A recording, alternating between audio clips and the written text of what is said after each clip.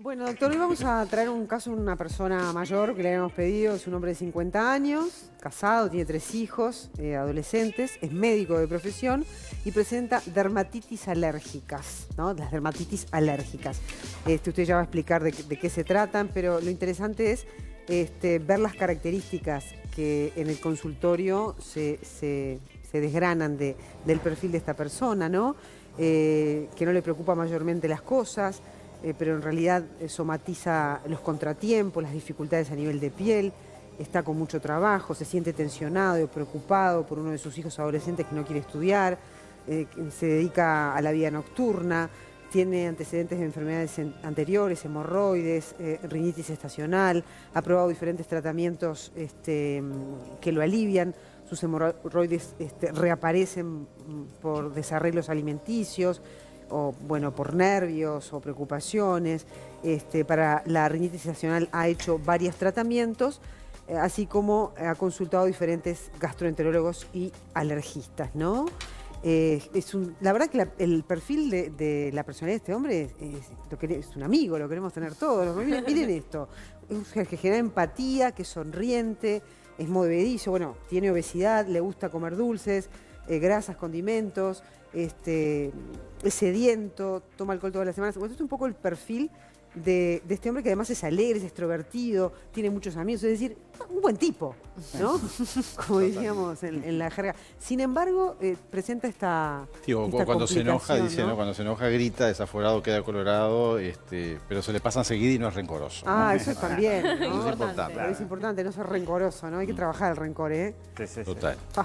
Bueno, en esta medicina de alguna manera este, vemos a la persona como el conjunto, ¿no? Entonces vemos las características de su personalidad y su manera de enfermar. Entonces nos encontramos en la personalidad de la Rayán, que es la personalidad de este señor, una personalidad muy alegre, muy extrovertida, muy para afuera, este, y de alguna manera que somatiza en su cuerpo, somatiza su tensión, su angustia, su dificultad de relación, sus preocupaciones las somatiza a nivel de la piel en este caso. Mm. Cada ser humano somatiza de acuerdo a sus características particulares. Hay gente introvertida y hay gente extrovertida. Por ejemplo, el suero de la verdad que hablábamos hoy se da sobre todo eh, eh, cuando alguien, por ejemplo, le dan una anestesia, que se desinhibe. Pero ¿quién se desinhibe? El introvertido. Mm. El extrovertido no, el extrovertido expresa siempre lo que le pasa, pero a veces, como en el caso de la personalidad de la Rayán, le cuesta conectar con su emoción verdadera. Entonces habla mucho, conversa mucho, hace mucho chiste, pero sus sentimientos profundos como que se los tapa. En principio como que parecería contradictorio, ¿no? Que alguien que es tan abierto y tan extrovertido somatice problemas. Claro. capaz que uno podría pensar eso es más, es más del, del introvertido, que no puede expresar su matiz, ¿no? está, pero es al revés. Eh, puede ser de las dos maneras, pero en el caso del eczema, el eczema alérgico, muchas veces está expresando lo que no puede expresar en palabras. Bernardo, vamos a repasar las flores que trajiste, que son parte de la terapéutica de este caso. Decías vos el arrayán. El arrayán es, una es para las personalidades eh, muchas veces este, extrovertidas, alegres, comunicativas, se enojan cuando se frustran y somatizan en la piel o en el tubo digestivo. ¿Y el jazmín de Hungría? Pues el jazmín de Hungría es otra flor que usamos cuando las personas se aceleran, las personalidades que, se aceleran mucho, que sobregiran, usamos el jazmín de Hungría para tranquilizarlo. Hay un cuento que un día viene un maestro de la India, ¿no? De esa gente que, toma una gotita y ya le hace un efecto bárbaro porque viven meditando, viven en armonía total. Elevados. Claro. Entonces este, viene a comer a casa un día y le digo, a ver, Suami, maestro, ¿para qué es esto? A ver qué siente usted, ¿no? Por, esa sensibilidad que tiene esta gente. Agarra la flor, se la pone así y hace... Uh, no, ni, no, ni, automáticamente. Automáticamente lo sedó. Para eso es, seda. Seda, seda. ¿Y la, ¿Y la Santa Rita? Y después la Santa Rita la usamos para la gente que sufre por los demás. Por ejemplo, en este caso el eczema a veces es producto del estrés por sus hijos, porque un hijo está disfuncional, entonces la persona sufre y no lo expresa en palabras, pero lo expresa en su cuerpo. Entonces la Santa Rita es una flor que usamos cuando hay conflictos familiares para ayudar a armonizar esas energías. ¿Qué, pasa en el cuerpo eh, para que algo emocional se represente en un tema este, ¿no? de la piel que salga para afuera. ¿Cuál, es ese proceso que, tenemos a ah, veces? ¿Tienen tres horas? No, cortito.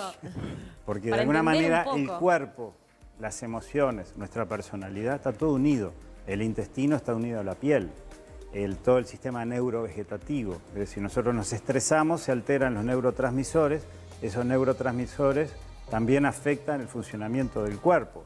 Entonces, de pronto, un estrés emocional, producto de la personalidad o de nuestras características particulares, genera una alteración del sistema vegetativo, adrenalina, noradrenalina, corticoides. Eso repercute a nivel del tubo digestivo, a nivel de, de las distintas partes del sistema de defensa, del sistema linfático, del sistema inmunológico, y va a repercutir en manifestaciones alérgicas, por ejemplo. Hay toda una relación entre el cuerpo, las emociones y nuestra forma de ser y cómo nos alimentamos, cómo nos vinculamos con los demás. Por ejemplo, este, qué, está pasando en nuestros vínculos, qué está pasando en lo que comemos. Todo eso está continuamente interactuando un factor con otro. De pronto una persona, no sé, come mal, se le inflama todo el intestino y se brota. Claro. ¿no? Y este, pero a la vez si no estuviera estresado y no estuviera angustiado por una situación X, no se brotaría. Como que, no comería mal. O, claro, aunque coma mal no le va a afectar si está estresado. Claro. una suma de condicionantes. Hay una cantidad de condicionantes. De este señor incluye siete flores, quedan cuatro. O ¿Es la fumaria o la fumaría? La fumaria. La fumaria, la ortiga, la mamelis y la, el caucil. Claro. La fumaria, decías. La fumaria se usa, por ejemplo, cuando... Este, hay disfunciones hepáticas que somatizan a nivel de piel. Una persona que no, le, no puede expresar sus sentimientos, pero sus sentimientos lo expresa a nivel de piel. O sea, de pronto está bien, está contento, está todo, pero todo brotado. Mm. Porque el estrés emocional lo lleva a nivel de la piel. ¿Y la ortiga? Y la ortiga es una hierba que usamos para fortificar el hígado, es una hierba que usamos para problemas de la piel, es una hierba que tiene funciones depurativas del organismo, porque depura el intestino, depura el riñón, depura el hígado, depura la piel. Y mucha acción metabólica tiene, ¿no? Claro, es un remedio bárbaro. ¿Y el amamelis? El amamelis lo usamos para todo lo que es la parte congestiva, por ejemplo, cuando hay hemorroides, ¿no? como en este caso, ¿no? este, para mejorar toda la parte del sistema venoso.